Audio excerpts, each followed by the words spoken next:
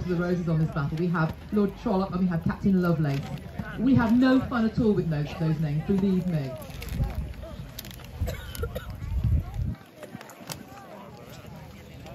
Oh, No, that commander didn't like the drum. I don't know why. Absolutely. Yes. I think maybe they're trying to sneak up on the uh, gates of St Albans. Ah, maybe that's right. why the gun was silenced. So yes, ladies and gentlemen, you've got to use your imagination. Here you are actually looking at St Albans rather than an empty field.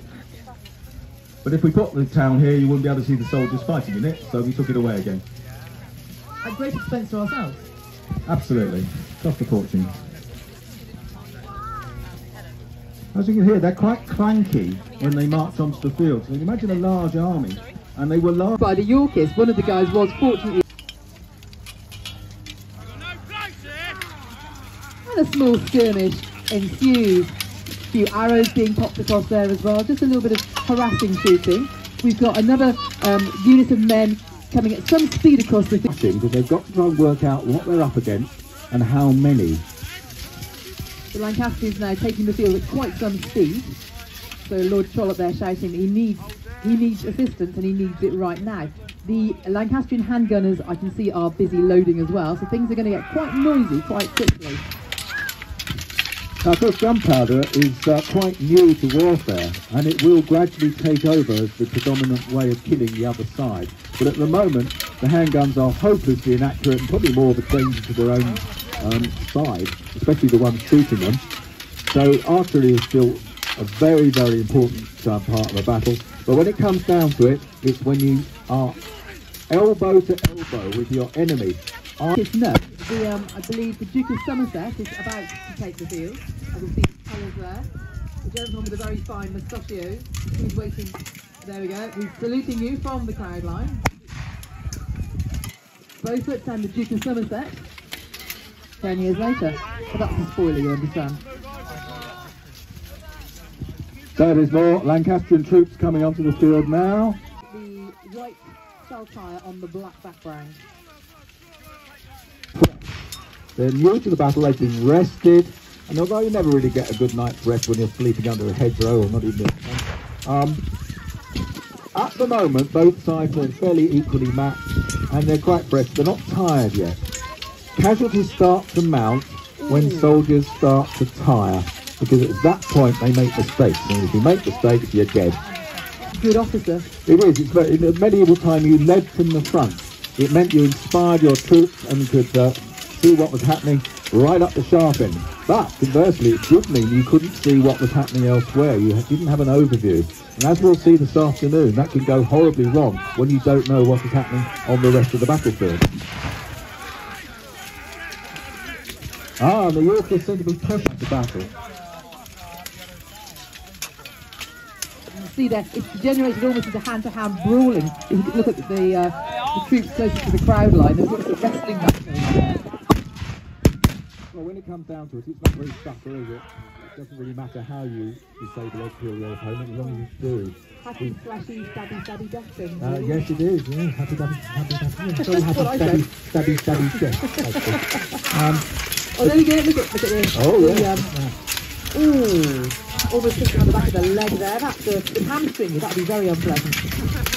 Very nasty if it can cut through the. The important thing, of course, ladies and gentlemen, at this time is for your troops to retain their their order, uh, not to fight individually, but to fight as a block of soldiers. It's not like um, Vikings or I don't know, you're not your own men. The fight really freshening up there towards the middle of the block. See the archers on the wings as well, shooting at each other. One or two of them have got away. Well, we've got one casualty down, shot with an arrow.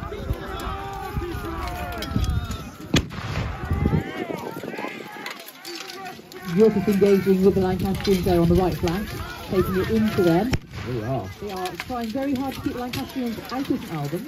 At the moment they're doing a reasonably good job of it, aren't they? They are actually, considering they're still outnumbered. The Lancastrians now falling back up the slope. Oh, ah, and the Yorkists are falling down the slope. Now, this is quite sensible because um, contact fighting is very, very exhausting. And I said earlier, if you're tired, you make mistakes and you get killed. So the commanders know this and will draw their forces apart to make sure the soldiers have a bit of a rest between violent bouts of action. So there will always be a bit of standing around doing nothing because you've got to rest your troops and get them back into their blocks so they're not all over the place. Um, so the right wing here next to us, that is now drawn apart, but uh, the battles on the other side of the field, they're still fighting. So that's that's Love, Lovelace versus the Duke of Somerset there. They're is. just It separating now, aren't they? They are indeed. Men of, Men of Kent under Captain Lovelace, I believe. Separating now. There's, there seems to be some kind of negotiation going on there. There's, there's a, a parley of some sort happening. Well, I imagine it's more like shouting abuse, but Oh, you never possibly. know. Yeah. The thing about allegiances could shift. So it could be, fact, that one side is trying to persuade the other side to change sides Well, or, there- there or is- just go away. Look, at- look at the body language. There's definitely some kind of persuasion going on here, isn't There there? is. This is this is quite interesting. blue What's blue. going on? Oh, and Oh they're goodness. embracing. Now, uh, that's well. Look at that. They were trying to kill each other a minute ago, and now it looks like there's some sort of yes, negotiation Agreement, on. there? But who's going to join who, or are they just ah? So they're all joining the Lancastrians. Look at this. So Lovelace in the Men of has, for whatever reason, decided to throw their loss in with the Lancastrians and change sides mid-battle. Maybe they've seen the way the battle's going. Maybe, or maybe they were just bribed with a large sum of money. You just don't know, do you? Well, that's a total shock for the Yorkers who've suddenly found themselves completely outmatched. How are they going to handle this? Do you think the should just get the hell out, um, or should they stand and fight? Well, are they somewhat trapped in St Albans? Is there an easy way out? Well, they can, they can always just run through the town, I suppose. I It's a suppose. bit ignominious, isn't it? It looks like they're, they're going to still make a fight of it, despite the fact they're now horribly outnumbered. Now, what this means, ladies and gentlemen, is the Lancastrians can send waves of troops in, fight the Yorkish, withdraw them so, so there's time to rest, and then send another wave in so the Yorkish don't have any time to rest. And this is not good.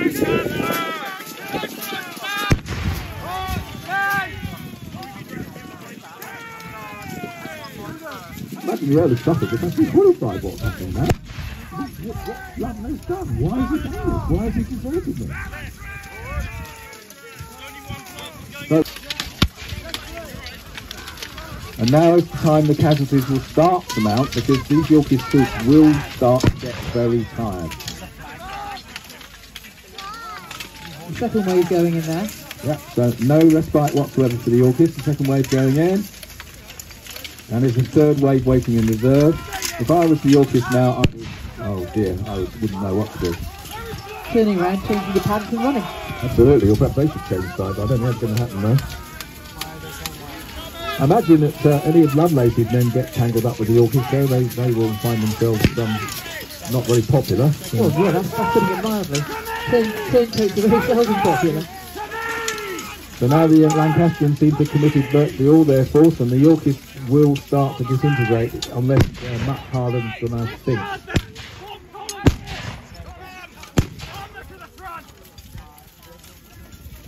See the Duke of Somerset there looking very pleased with what's going going on, and so of course as well. So the Yorkists are still hanging on, but it can only be a matter of time now.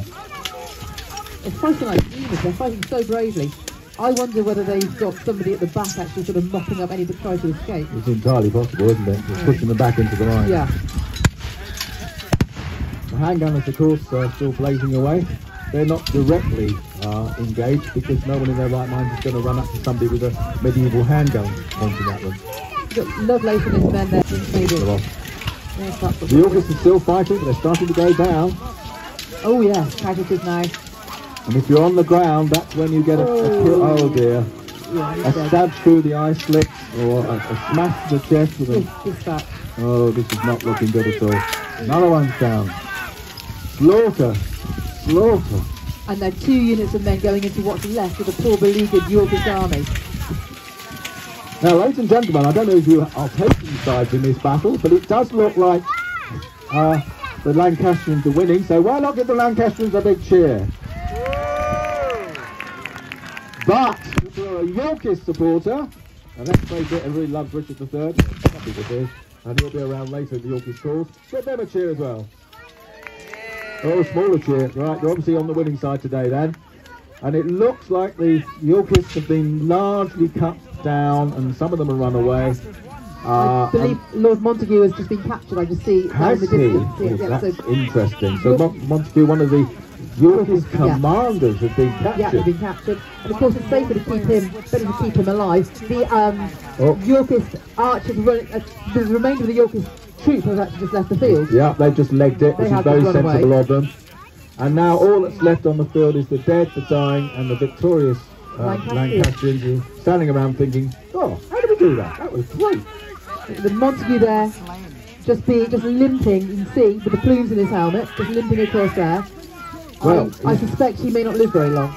Well, it's quite possible because in the Wars of Roses, quite often enemy commanders were summarily executed. Let's see what happens to him. He, they might let him off. Oh, look, he's kneeling down. Oh, that's a bit- Oh dear, this doesn't look good, does it? So, it really depends on whether the Earl of Suffolk is feeling pleasant and nice today or not. Let's, let's see what he does. Oh, he's bringing, bringing him forward. Montague's been brought forward. So somebody will have to make the executive decision to execute him. Yeah. Actually, it does look like they're just going to hold him captive. They, haven't thrown him the ground or... No, it looks like he's got away with it. That's unusual, I have to say. So, the troops are coming out and it's the end of the battle. The Lancastrians are very, very happy. So, how about you give the Lancastrians and the Yorkists the hugest cheer that you can?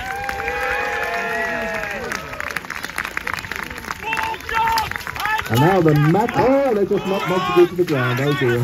Oh no. Look at that. Oh, they're a kick. Oh dear. Poor old poor Montague. They haven't killed him though, they've just kicked him around a bit. Oh, he's got off lightly actually. Get back on your knees, we I think the oh. king now is being brought across the field. Yes, so they found Henry the Henry the Sixth. Sixth, yeah. Here's the king. He probably doesn't know he's the king, but then the men all take a knee. We have his wife, Margaret of Anjou. We have his young son, Edward, now coming to be reunited with Henry.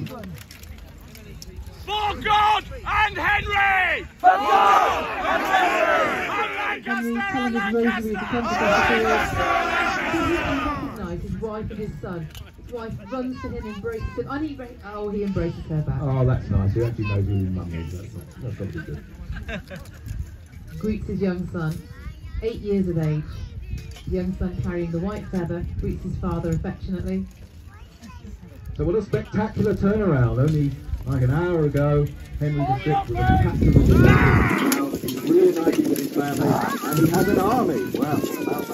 So ladies and gentlemen, how about a huge cheer for the late Lancastrians? And now, the magic bit. By the power invested upon me, I will ask the dead to arise. And while they do, cheer the Yorkists. Oh, we have someone being knighted on the battlefield as well. We have, um, Ooh. so we have Trollope being knighted on the Oh, battlefield. that's splendid. Well, he's done very well today. That's good. So he's now useful. That's good. And Margaret is now negotiating, I believe, for for Montague's life, maybe. Maybe. Well, Montague. Oh, And the, young- the young prince is being brought forward, and he's carrying that feather still. I have a feeling this feather may signify something. right, dear. What's he going to do? Oh, tro- oh dear. Montague's on his knees Montague's again. down. The young Edward is being asked a question.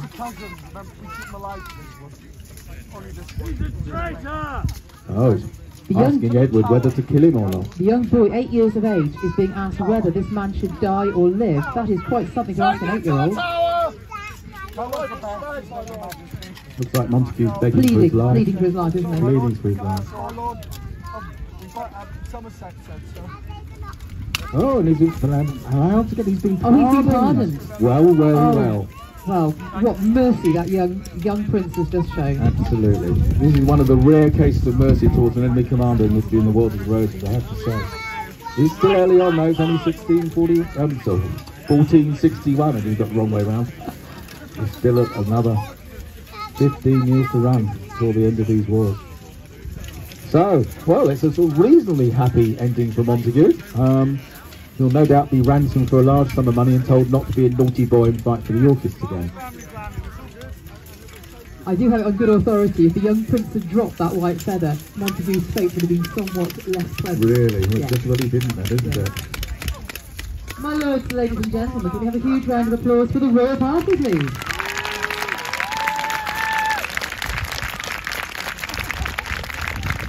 And the king is, of course, Henry the Sixth of his name, by the grace of God, King of England.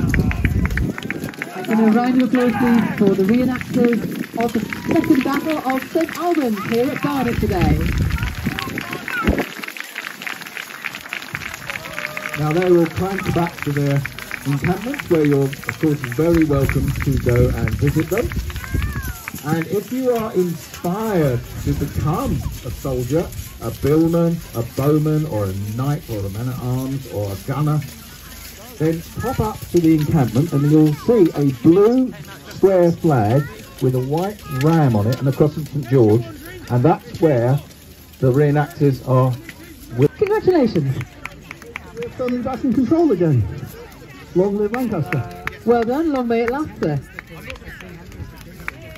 He'll get his own in 10 years' time at the Battle of Barnet. No